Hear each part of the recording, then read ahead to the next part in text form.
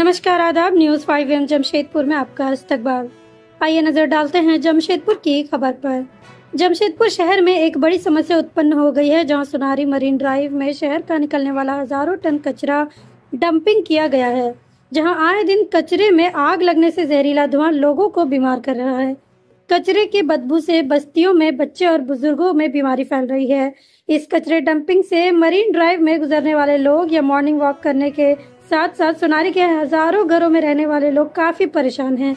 कई बार प्रशासन से लोगों ने समस्या से अवगत कराया, बावजूद प्रशासन मौन बैठा हुआ है। आज स्थानीय लोगों ने प्रशासन के खिलाफ कचरा डंपिंग के सामने विरोध प्रदर्शन किया।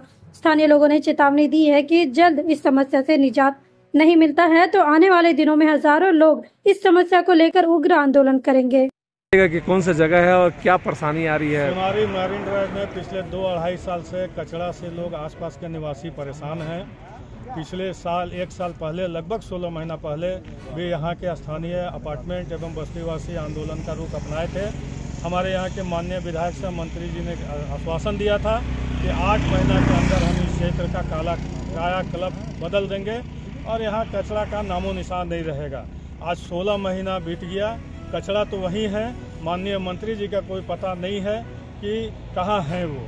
कम से कम प्रशासनिक स्तर अधिकारियों पर दबाव डालकर या उनका ध्यान आकर्षण कर उनसे कम से कम यहाँ के स्थानीय निवासियों को इस जहरीली एवं बदबूदार हवा से मुक्ति दिलाया जाए। हमारे मंत्री से हम लोगों को काफ़ी उम्मीद थी, यहाँ के स्थानीय सांसद, विधायक हैं वो, और इसके बावजूद भी उनका इस तरह से निराशापन हम लोगों के प्रति जिससे आम जनता यहाँ के स्थानीय निवासी काफ़ी प्रभावित हैं और जहरीली हवा का शिकार हो रहे हैं लोग बीमार पड़ रहे हैं लेकिन देखने वाला कोई भी नहीं।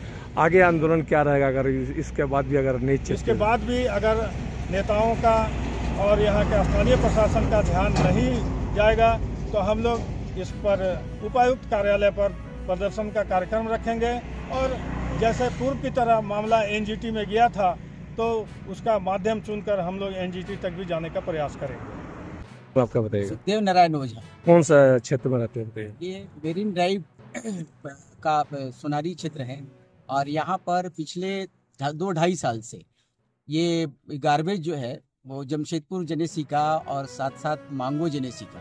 इसमें हम लोगों को एक ऑब्जेक्शन है कि मांगो जेनेसी के लिए जो गार्बेज निकल रहा है उसका डिस्पोजल किस जगह होना चाहिए?